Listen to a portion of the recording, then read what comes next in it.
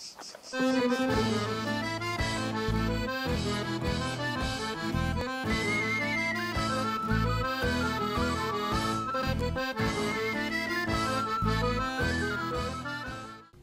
everybody. Chef Leo here with another edition of Ask Leo Pizza. Today, I'm in my headquarters here in Chicago with a very special guest. Today, I have the owner, president, CEO of Carmelina Tomatoes, Mr. Matt Maslowski. Matt, thank you very much for coming today. Leo, thanks for having me. Really appreciate uh, knowing the fact that we're going to be working together.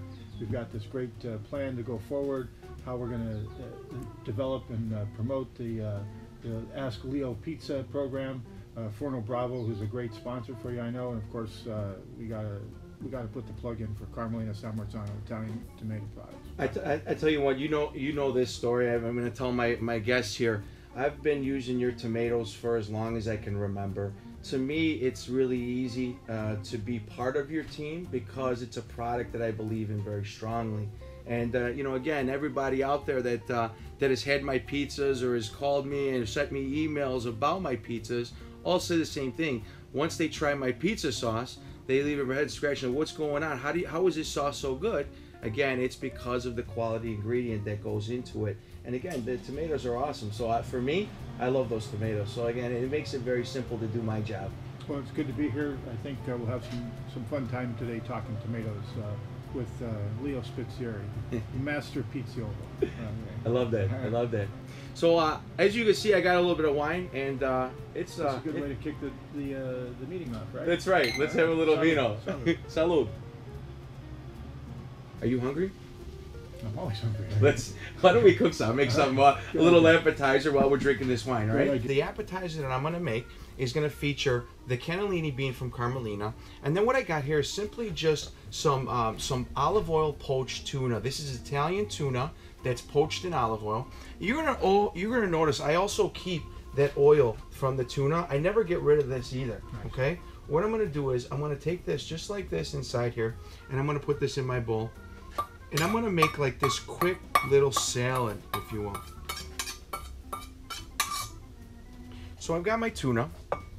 I'm gonna add to this a little bit of um, Spanish onion, okay? Not a lot, just a little bit. Again, to give it a little bit of bite. On top of this, I'm gonna take just a little bit of lemon juice. Now, you've got, and then what I'm gonna do is, I'm gonna add in one 28 ounce can of your cannellini beans, the Carmelina Carmel- cannellinas. Uh, this is um, this is really nice, again, because all I'm gonna do here, I'm gonna start to give this a little bit of stir, but you'll notice that I'm gonna take just a little bit of sea salt here, Yep. and then I'm gonna take just a little bit of black pepper here. I'm gonna give this a really nice stir, just like Leo, what's the secret ingredient?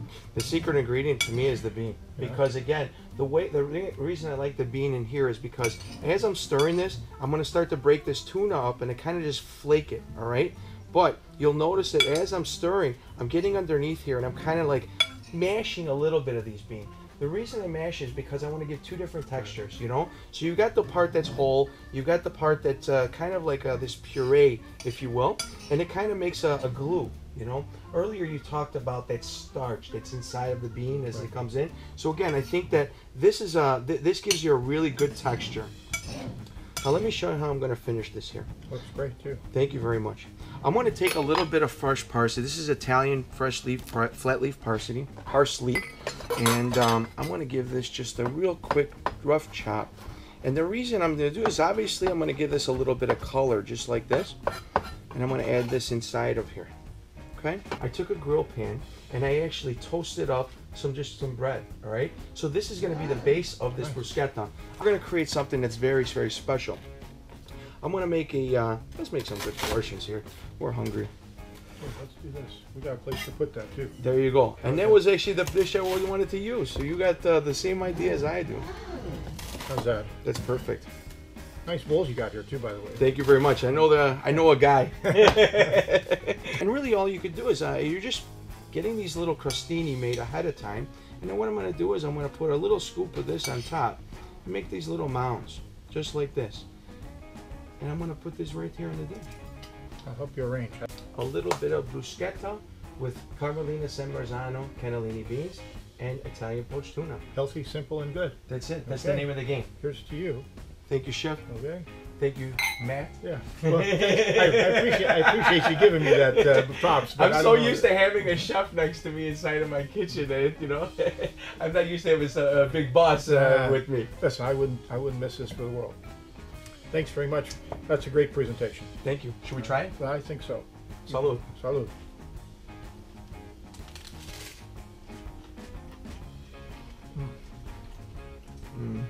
That's really good.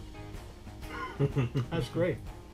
So we're back, and what I want to do right now, since I have Matt here from Carmelina Tomatoes, I actually would like to finally show everybody how I make my pizza sauce. What I'm going to do is I'm going to take these, or maybe you could actually help me. I can. If you want to, uh, if you just want to give me, you know, maybe a couple, two or three spoons, right inside the food mill here, and then While I'll. we're doing that, you're also going to notice that the juice or the thickness of the product is designed to help you get a full yield out of this. Give it a quick grind.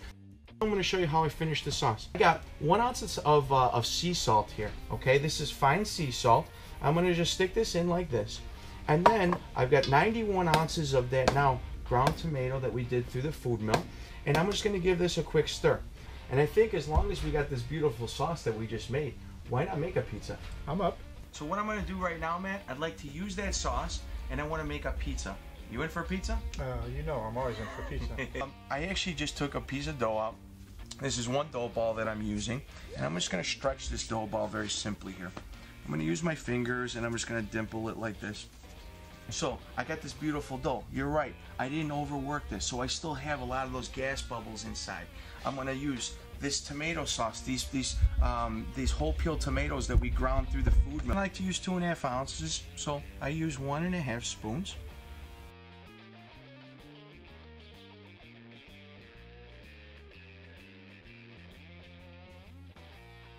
I'm gonna take a little bit of fresh basil. Okay, this is very similar to like a uh, uh, a margherita pizza that you would see. All right, I'm gonna put some basil on here, nice and fresh. Got some. Uh, this is just some fior di latte, some fresh mozzarella.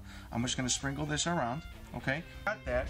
Now what I'm gonna do here, I'm just gonna randomly take these whole peeled. I'm sorry, these uh, these cherry tomatoes and these datterini, and I'm just gonna spread these around here like this. You can see datterini. Uh, At this time, all I'm gonna do right now, I'm gonna give this just a little bit of olive oil, right? I'm gonna give this just one little ribbon, okay? And we're done. So man, what I'm gonna do is I'm gonna get my pizza up on top of my peel like this. Then I'm just gonna go right into my oven right here. What are you running the oven at? So I like I like to keep my oven a little bit cooler um, because a little bit different than uh, you would see, let's say in Naples, where they run that oven at uh, let's say 900 degrees. Right. I like the texture of my pizza to be a little bit more crispy. They'll eventually start to pop in there. You Yeah, know. you can actually- I'm gonna pull this out so you can take a look at it. I'm gonna go to the camera. Can you see that? This is perfectly baked. Again, I've got just the right amount of consistency, that juiciness of the tomato. Should hear some. Can you hear how crispy Yeah. that pizza is? The old fold, right? New York Just a, style. little, You just a little flip. That's it. Just a little flip, and this is gonna go. They call this a portafoglio in uh, in, uh, in Naples. Oh man.